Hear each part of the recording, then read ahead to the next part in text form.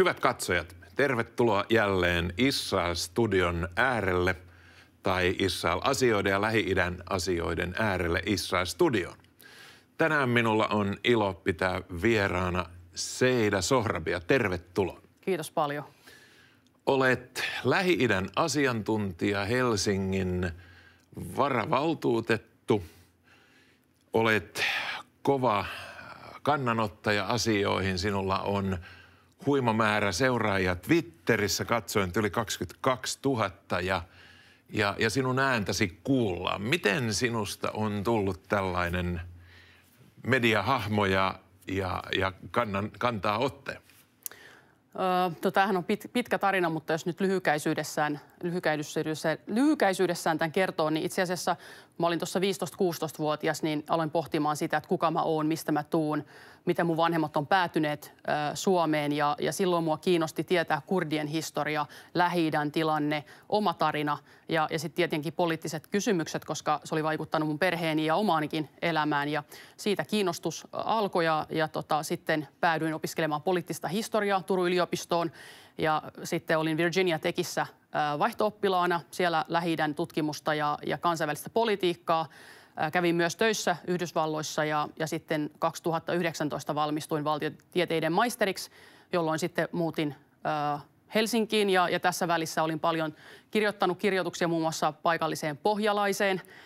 on, on Vaasassa tota, kasvanut, sinne aikoinaan perheeni kanssa tullut ja, ja sitten siihen aikoihin oli paljon – keskustelua kunniaan liittyvästä väkivallasta, naisten asemasta, tasa-arvosta ja oikeastaan ne on ollut mulle aina todella tärkeitä kysymyksiä, oikeudenmukaisuus, tasa-arvo.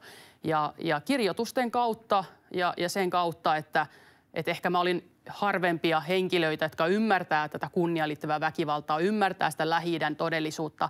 Ja sitä kautta mulle tarjoutui tilaisuuksia päästä radion puhumaan näistä päästä televisioon puhumaan näistä ja tietenkin se oma motivaatio, oma kiinnostus. Ja päädyin sitten tekemään näitä sometilejä. Twitterin taisin tehdä 2014, että 10 vuotta tulee, tulee täyteen ja, ja tosiaan nyt 22 reilu tuhatta seuraajaa. Ja ehkä varmaan sekin myöskin taustalla, että on mielestäni rohkeasti tuonut niitä ä, asioita esille. Itse en tykkää sanasta rohkea siinä mielessä, että se on mulle ollut hyvin ominaista jo nuoruudesta. Että jos joku sanoo mulle, että asiat on näin, niin mä kysyn, että miksi. Ja jos mä en saa hyvää selitystä, järkevää selitystä, niin mä haastan sitä, sitä narratiivia. Mm. Mainitsinkin tuossa, että Kurdistan on teidän perheen lähtöpaikka. Joo. Milloin tulitte Suomeen ja mikä teidät toi Suomeen?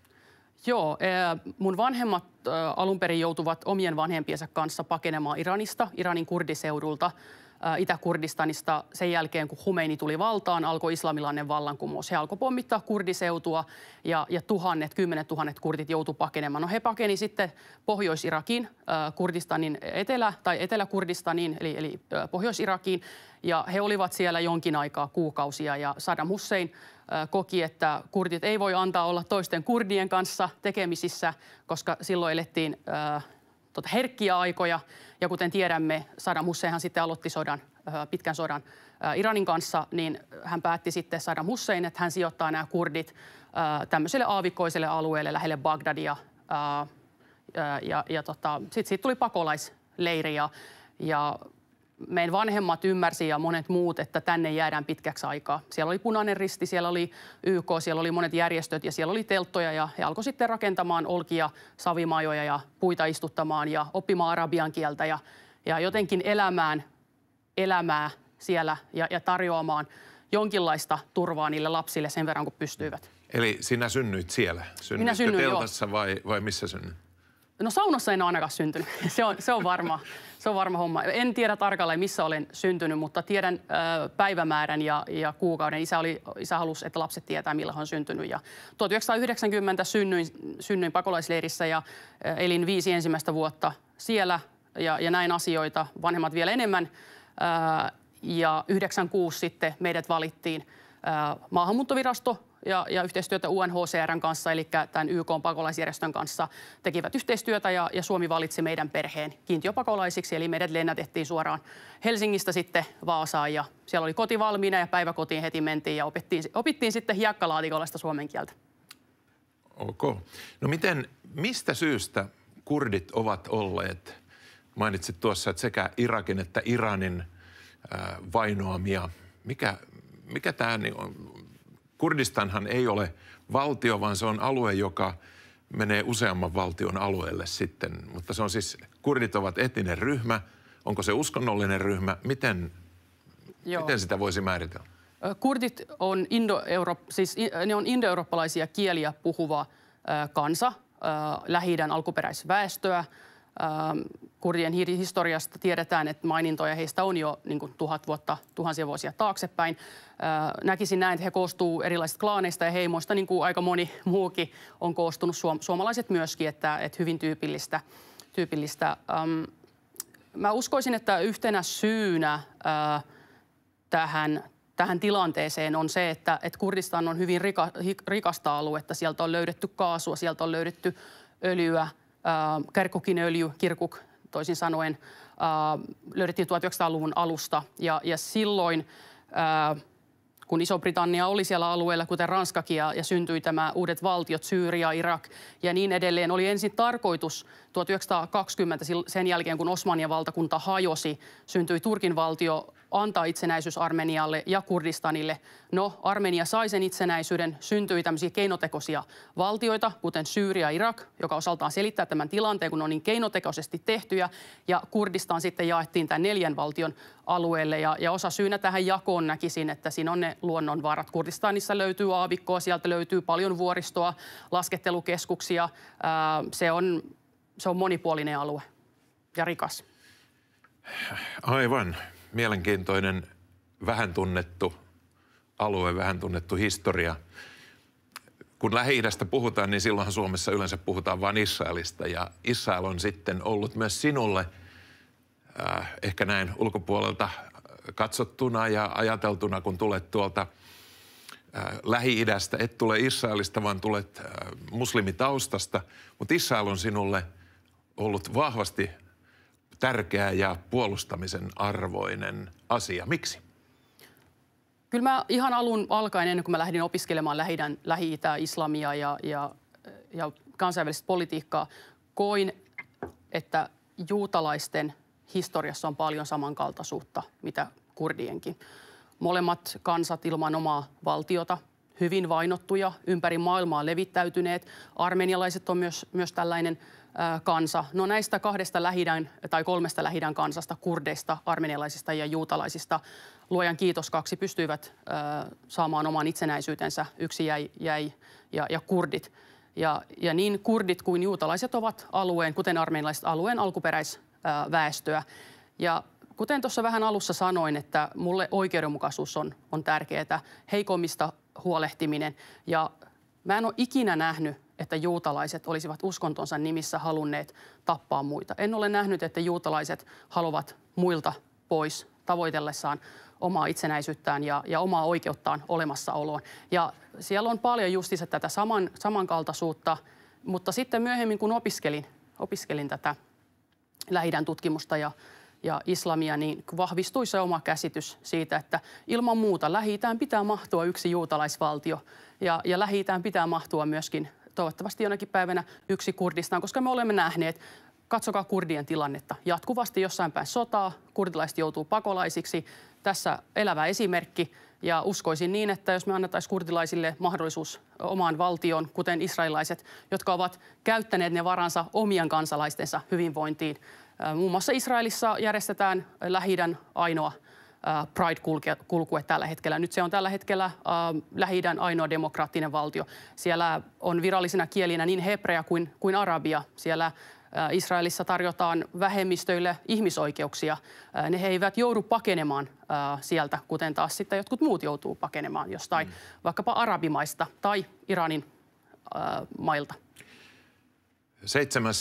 huhtikuuta, siis muutama päivä sitten – äh, tuli kuluneeksi kuusi kuukautta, puoli vuotta siitä, kun Hamas hyökkäsi Israeliin ja, ja kirjoitit äh, Twitterissä, kuusi kuukautta on tänään kulunut siitä, kun Hamas hyökkäsi pelkurimaisesti ja barbarisesti Israelin tuuden tuhoa, menetystä ja kärsimystä.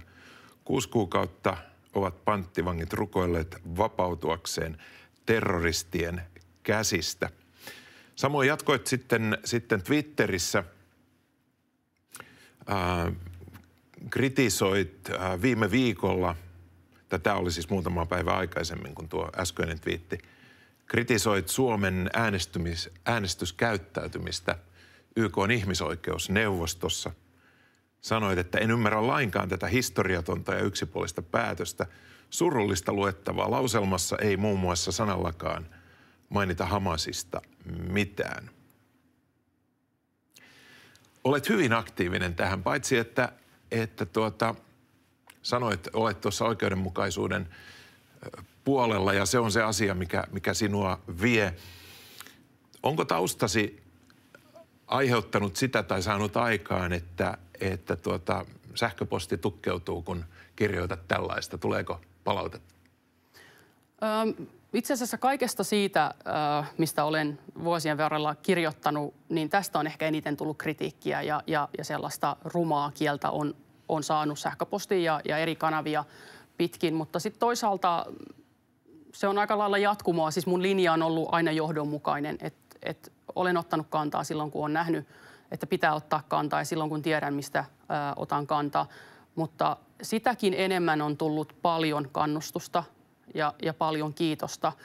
Ja koen itse äh, erittäin tärkeänä, että juutalaisyhteisö kaikkialla tietää, että heille löytyy tukea ja monipuolisesti ympäri, ympäri maailmaa ja eri yhteisöstä. Mä oon tavannut yhä enemmän juutalaistaustaisia ihmisiä ja, ja kaiken sen jälkeen, mitä siis 70 tapahtui, niin se, mikä minua surettaa kovasti, on se, että he joutuu puolustamaan sitä, miksi he puolustautuu. Hmm. Et tuntuu siltä, että kaikki keskittyy nyt siihen, mitä Gazassa tapahtuu, joka on hirvittävää, mutta sodassa kuolee aina siviilejä missään päin maailmaa ja minään historian aikana ei ole ollut niin, että sodassa ei olisi kuollut siviilejä, ja se on kauheata. Mutta sieltä unohdetaan se, että mitä täällä on tapahtunut. Niin nimenomaan tämä 70. Se on hyvin paljon sivuutettu. On sivuutettu se, se juutalaisten ääni ja juutalaisten historia ja se kokonaistilanne. Se narratiivi, me katsotaan mediasta ja somesta, se on mielestäni hyvin yksipuolista. Mitä ajattelit tuosta YK on ihmisoikeusneuvoston päätöksestä, kun kirjoitit? Mikä siellä ärsytti ja pisti silmään? No juuri tämä yksipuolisuus.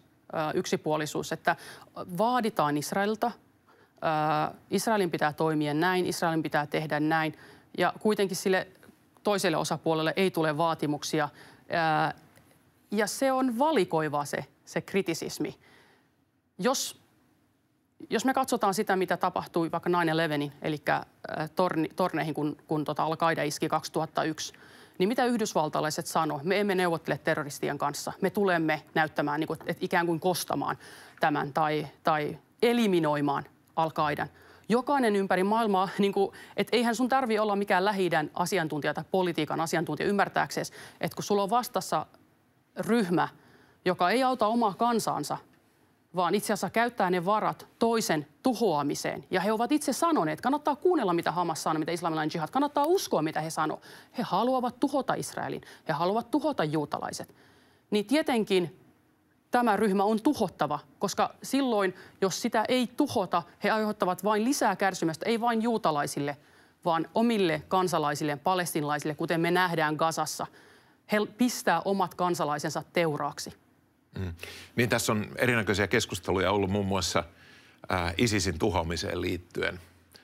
Mikään media, kukaan valtiomahti ei ollut huolissaan siitä, että kuinka paljon mahdollisesti menee siviilejä siinä, kun, kun tuota, amerikkalaiset ja, mm. ja heidän liittolaisensa painoivat Isiksen perään ja, ja tuhosivat heitä. Ei ollut minkäänlainen ää, kysymys tästä Kyllä. siviilien tuhon määrästä. Mm. Ja, ja yhdessä keskustelussa tuli myös esiin se, että – että nyt kun äh, Israel on äh, käynyt Gaasan äh, keskeiset bunkkerialueet, tunnelialueet läpi ja siellä on tämä Rafahin alue enää, enää käymättä. Yksi esiin noussut kysymys oli se, että, että entäs jos olisi löytynyt näitä maailman oikeudenmukaisia johtajia huhtikuussa 1945, kun liittoutuneet olivat, olivat Berliinin porteilla. Niin kuin viimeinen paikka saavuttamatta Natsi-Saksassa. Mm. Ää, siviilituhot olivat järkyttäviä, aivan hirvittäviä. Liittoutuneet Yhdysvallat, Iso-Britannia pommitti siviilikeskuksia. Siellä meni siis miljoonia siviilejä. Mm. Sitten olisi tullut joku Joe Bidenin tyyppinen kaveri, joka nyt, nyt pitää lopettaa, että ei me, ei me Berliiniin mennä. Mitä olisi tapahtunut Natsi-Saksan hallinnolle ja, ja, ja näille tilanneille? Et, mitä ajattelet näistä vertauksista? Joo, siis tuon Isiksen esille ja, ja sitä aikaisemmin toin Alkaidan äh, tässä aikaisemmin esille. Juttu on niin, että sodassa kuolee aina siviiliä. Sota on likasta. Sota ei ole... Äh, järkevä ihminen ei halua sotaa. Järkevä ihminen haluaa rauhaa, koska vain rauha takaa meille loistavan ja hyvän tulevaisuuden niin meille kuin meidän äh, lapsillekin. Sodassa on sääntöjä ja, ja ymmärtääkseni Israel on sitoutunut näihin so, sodan sääntöihin ja, ja humanitaarisen avun tarjoamiseksi. Israel on, on myöskin jo ennen sotaan lähtemistä, eli Gazaan lähtemistä, itse asiassa kolme viikkoa tämän, tämän iskun jälkeen, Hamasin iskun jälkeen, he tiedottivat paikallisia. Tähän me tullaan, tänne me isketään, näin me tehdään. Ja sodassa myös pitää, jos sä isket johonkin kohteeseen, sun täytyy miettiä, että mikä on se hyöty versus mikä on se haitta. Ja tietenkin, jos sulla on nyt joku tietty rakennus, sanotaan vaikkapa, että koulu, ja, ja koulussa on tunneli, jossa on Hamaksen vaikka päämaja tai lähellä sitä.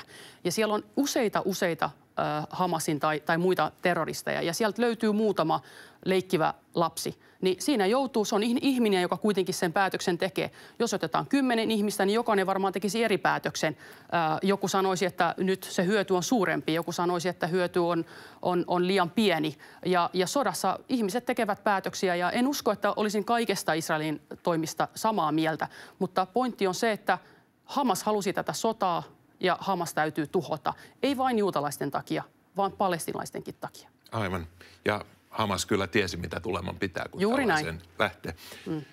Ähm, etukäteen sovimme, että puhumme tässä lähetyksessä otsikolla Uskonnon merkitys Gaasan kriisiin.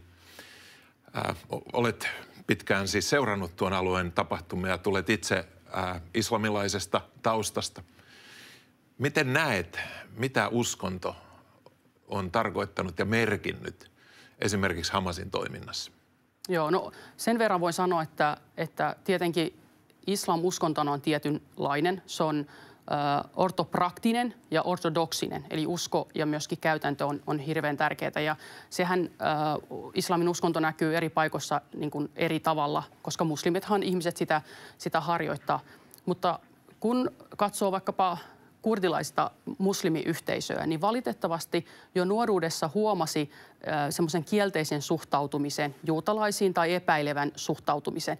No sitten myöhemmin, kun sitten tutustuin muihin näihin muslimiyhteisöihin, huomasin, että itse asiassa se viha ja, ja katkeruus ja muu tällainen oli, oli voimakkaampaa. Ja itse asiassa palestinalaisten keskuudessa se on kaikkein voimakkainta. Ja tämä johtuu osaltaan siitä, että siellä on näitä kouluja UNRWAn, eli tämän pakolaisjärjestön, palestinaisten pakolaisjärjestön ylläpitämiä kouluja, joissa jatkuvasti tätä juutalaisvihaa levitetään. Islam itsessään valitettavasti ei suhtaudu myönteisesti juutalaisiin. Siellä on useita kohtia, jotka ovat vihamielisiä juutalais... Missä, missä siellä?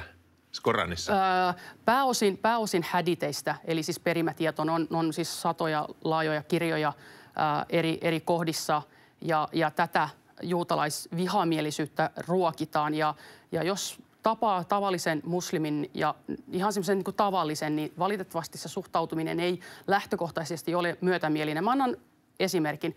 Eräs mun muslimitaustainen ystävä kertoi mulle, että kun hän oli pieni ennen Suomeen saapumista – hänen ensimmäinen, siis hän oli pieni tyttö, hänen ensimmäinen vihollisensa, number one, oli juutalaiset. Koska niin hänellä oli opetettu. Ja hän vasta aikuisiellä mietti, että no minkä takia? Miksi se on, se on näin? Ja mä koen, että tässä ei vaan niin uskonnolla ole tekemistä tämän asian kanssa, että, että islam pitää oikeasti päivittää tähän päivään. Koska meillä on paljon ongelmia tämän uskonnon kanssa, jonka nimissä paljon ihmisiä kuolee ja paljon tuhoa tehdään ja naisia alistetaan. Uh, Mutta samaan aikaan taustalla on myöskin valitettavasti vihaa ja katkeruutta länsimaita kohtaan. Länsimaat koko ajan kehittyy, kaikki haluaa länsimaihin. Ja siellä on koko ajan asiat huonosti lähi Niin, se, se on hyvin, hyvin mielenkiintoista nähdä esimerkiksi tämä maahanmuuttaja kysymyksen kautta, mitä nyt esimerkiksi Ruotsi ehkä, ehkä tuota, järkyttävimmillään niin todistaa sitä, että toisaalta ihmisiä tulee pakoon sitä islamilaista yhteiskuntaa, tulee vapaaseen hyvinvointivaltioon. Mm. Ja, ja nyt näyttää siltä, että se ei kelpaakaan heille, vaan he haluaa islamisoida mm. tämän hyvinvointivaltion. Että he ei pärjänneet siellä lähi ja nyt näyttää, että tämäkään ei kelpaa heille. Niin miten selität tätä? Mä kokisin, että islamilaisessa narratiivissa valitettavasti siinä yhteisössä on sellaista,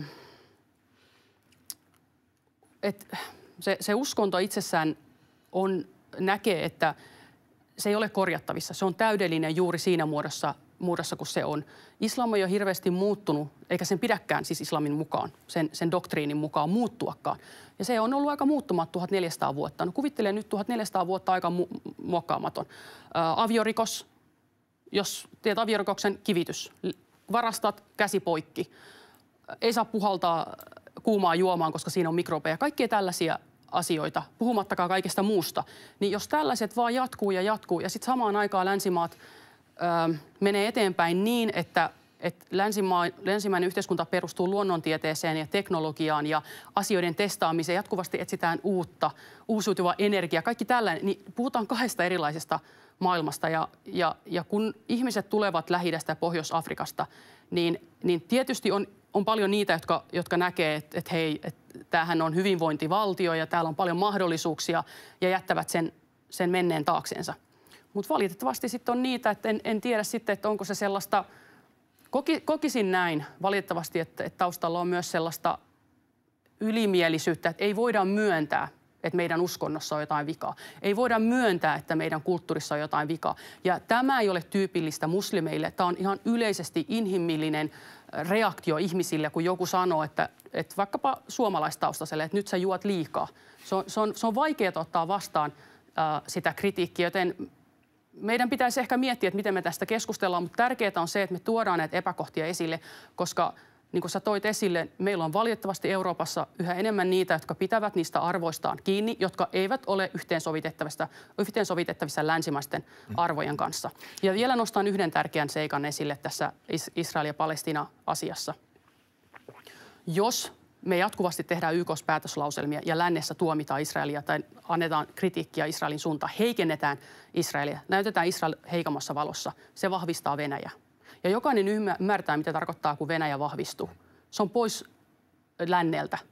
Se on enemmän tuhoa, enemmän pahaa. Ja Israel kuuluu tähän länsiliittoumaan. Joten länsiliitouman täytyy miettiä, että miten se pelaa sitä lähi lähidän peliä, jossa on mukana aika monia tekijöitä. Mutta se täytyy nyt nähdä varsinkin tänä aikana, jossa Venäjä on sotimassa Ukrainassa yhteistyössä Iranin kanssa muun muassa. Mm-hmm. No miten näet sitten sen, että – että jos sanoit, annoit ymmärtää näin, että, ja onko tulkintani oikea, että se on niin kuin sisäänkirjoitettu tämä juutalaisviha ää, islamissa. Miten näet sitten tämän Abraham Accords, Abrahamin rauhansopimusten solmimisen, mihinkä osallistui Bahrain, yhdistyneet Arabiemiraatit ja, ja Marokko, mm. jotka teki normalisointisopimuksen mm. Israelin kanssa. Onko nämä sopimukset aitoja, onko ne luotettavia – Miten, miten näet, mistä, mistä sitten syntyy tämmöinen rauhantahtoisuus, joka esimerkiksi nyt mm. Arabiemiraattien ja Israelin välillä on, on saanut aikaan suunnatonta keskinäistä turismia, mm. suunnatonta liiketoimintaa, kauppaa, investointeja ja sama, sama hieman pienemmässä mittakaavassa tietysti Bahrainiin ja Marokkoon. Miten näet nämä? Öö, mä näkisin näin, että ja mä aina sanonut, että islam ei pidä nähdä nimenomaan uskontona, vaan se on poliittinen liike. Profetta Muhammed – oli sotapäällikkö. Ja jos miettii henkilöä, joka rukoilee päivittäin, eli viisi kertaa päivässä, niin siinähän, siinä rukouksessa sanotaan, että ei ole mitään muuta Jumalaa kuin Jumala ja profetta on hänen sanansaattajansa. Ja kun katsoo Muhammedin elämää ja, ja islamilaista maailmaa, niin siellä on valitettavasti paljon väkivaltaa ja tuhon ö, kehottavia asioita. Mutta sitten täytyy niinku muistaa se nimenomaan, mitä tässä toin esille, että se on poliittinen liike. Ja, ja tietysti pakon edessä – poliitikkojen täytyy tehdä myöskin järkeviä päätöksiä. Eihän, eihän nämä islamilaisen maailman päättäjät ole tyhmiä. He käyttävät islamia välineenä. He ensinnäkin pitävät omat kansalaisensa sivistymättöminä, kouluttamattomina, jotta he voivat käyttää tätä uskontoa hyväkseen oman omien etujensa saavuttamiseksi. Hamas on hyvä esimerkki, ISIS on hyvä esimerkki, uskontoa käytetään tosi voimakkaasti. Mutta sitten tämmöiset valtiot, niin tietysti siellä on, on uskonnollisuutta, ää, mutta kun pakon edessä tulee ja, ja siellä on kuitenkin myös järkeviä ihmisiä siellä, siellä johtotehtävissä, niin ilman muuta uskon siihen, että se on ihan pyyteetöntä tämä, mm. tämä tota, sopimukset ja, ja yhteistyö. Meillä aika alkaa loppua, mutta, mutta vielä tähän loppuun kysymys siitä, että onko kahden valtion malli nimenomaan, jos me katsotaan tätä niin kuin palestiinalaisten tai Hamasin vaatimuksesta tai, tai heidän näkökulmastaan, niin kuin islamilaisesta näkökulmasta, niin onko kahden valtion malli heille koskaan muu, enempää kuin mahdollinen välivaihe ja tähtääkö se vaan johonkin muuhun sitten? Se on hyvä kysyä heiltä, mutta he ovat jo vastanneet, tämä terroristiryhmä, että he eivät suostu kahden valtion malliin. He suostuu vain yhden valtion malliin ja se tulee olemaan islamilainen valtio, jonka hallits, jota hallitsee Hamas. Ja no miten näet kaveri. sitten palestiinalaishallinnon, joka, jonka sanotaan olevan niin kuin moderaatimpi, maltillisempi? No joku sanoi hyvin näin, että, että jos otat juutalaiset pois kokonaan tästä konfliktista, niin ne rupeaa keskenään riitelemään. Ei ne myöskään palestinalaishallinnon äh, tota, osapuolet ole keskenään samaa mieltä. Mä toivon, mä, kaikki, jotka haluaa rauhaa, on mun ystäviä. Mä oon, mä oon yst, rauhan ystävä.